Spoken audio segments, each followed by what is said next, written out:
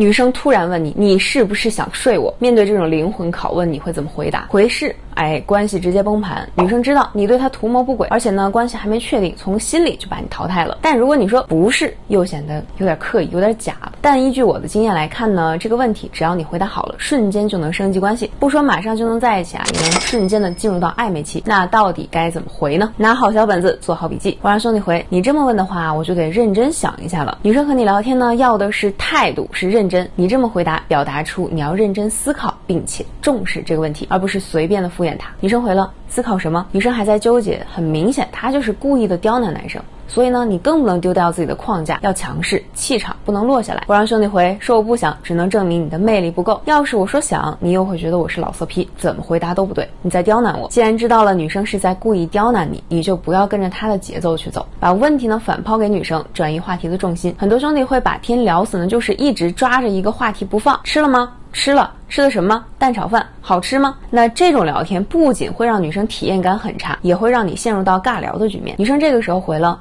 我才没有刁难你，兄弟们，看女生开始解释了，解释呢就会有转机。问题的重点呢已经不是睡不睡了，而是刁难。我呢让男生幽默有趣的回复一波。那你没有刁难我，我就要刁难你了。你是不是想睡我呀？这句话发给女生之后呢，兄弟们千万不要希望让女生回复，因为女生她都是矜持的，根本就不会承认这件事情。只有情侣才会对这件事情直言不讳。让你这么说呢，只是为了调动她的情绪，让聊天的氛围呢活跃起来。女生回了。